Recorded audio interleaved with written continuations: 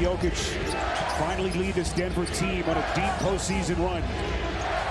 Edwards got it.